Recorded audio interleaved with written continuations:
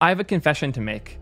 Up until the beginning of this year, I was still using NPM. My take was that it's the default. You have to have it installed anyways. Why not just use what's already there, not have to worry about people trying out some new thing? We all know how to use NPM. Yarn, I would still occasionally use because it was the happy path for React Native, but generally, I just use the default. And then I had to format my SSD on my computer because I had filled the space almost entirely with node modules. I know we always have that black hole meme, and I know it's like funny to talk about. But the problem here isn't just the massive amount of files that NPM was reinstalling in all of my projects. It was the amount of time it took to do that, the slowness in getting my dependencies installed and managing them, and a lot of other small things that I didn't expect to like so much about PNPM. This video is obviously going to be about PNPM. It is the new industry standard for a reason, but I want to talk a bit about why, what it took for me to get over the hump and try it myself, and some of the pleasant surprises I've had along the way. Let's talk about PNPM. So, real quick history lesson. NPM was the original package manager for your Node applications, eventually started being used for web apps too. It was missing a couple things. In particular, it didn't have a lock file, so it would blindly install the newest version based on what you had specified in your package JSON, and it would often cause version desync and people having issues reproducing builds. Yarn was largely made to walk down the versions of things you were using and generally try to improve the installation experience for packages. But a lot of those wins got copied from Yarn back over to NPM. The yarn.lock was copied as the package lock, the install speeds got faster in NPM, eventually surpassing those of Yarn. And then Yarn went off in the crazy world of Yarn 2 and Yarn Berry and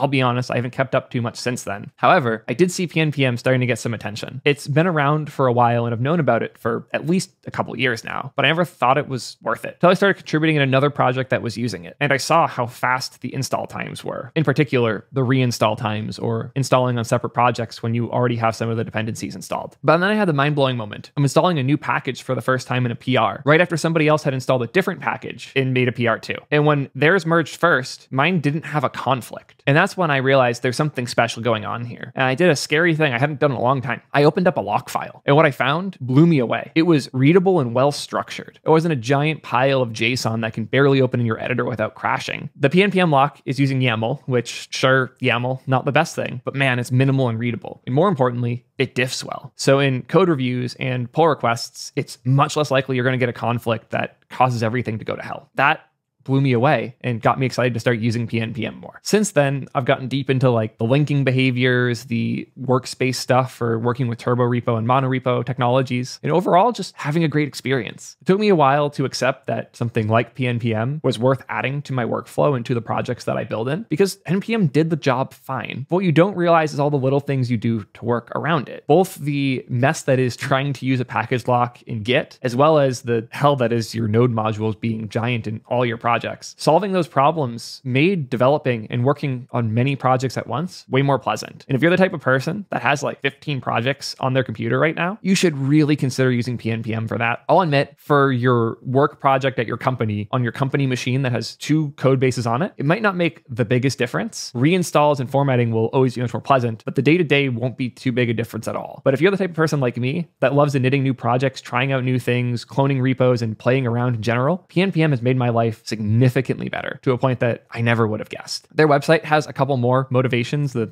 things that motivated them to build it and the cool things it does that I didn't talk about here. I'll make sure there's a link to that in the description. Maybe we can pin some of those features in the video here Generally, though, it's been a great experience. So, how about you? Have you tried out PNPM yet? If not, what's holding you back? And if you have, what's been your favorite part so far? If you want to hear a bit more about different style solutions in modern web dev, I'll pin a video here where I break down all the different CSS frameworks and how they work and how they differ. So, check that out if you haven't already. Thank you guys as always.